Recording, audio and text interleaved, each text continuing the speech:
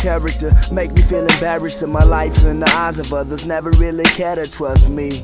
18 and lately, the fate I've been facing makes me feel like I'm aging faster than the others. Living off the mothers. The only thing I got to keep me going is my brothers. And the struggle is irrelevant to television. Missing a point and focus on selling shit to kids and their relatives. The relevant lies within the underground. Makes me kinda wonder how the people got to run around. Conundrum of foster kids in the slums, not knowing where they're from and growing to be bums. Hungry, stumbling, salvaging the crumbs of the bottom. Hoping there is some. And numb is the feeling that we grown to feel. Symptoms of depression and aggression, and it's and those real. people really trying to make it on the street.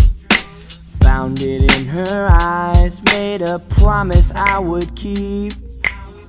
She knows, he knows, we know nothing, nothing, nothing.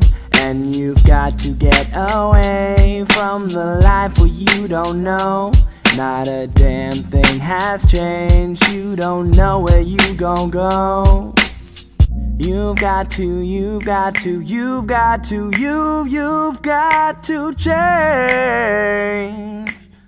And that's what you don't see, don't see. Yeah. What's good, everybody? This is Zarkhi from Delphic Concepts. I just want to let everybody know that we got some projects coming along. One of them is What You Don't See. That's my mixtape. If you want to get all the other projects from the crew, make sure you check us out. www.pimpshitonly.com. We got a huge event going down celebrating the entire team release, including uh, the addition of some new members and some new additions to the family of what we do. So, what you don't see, let's go.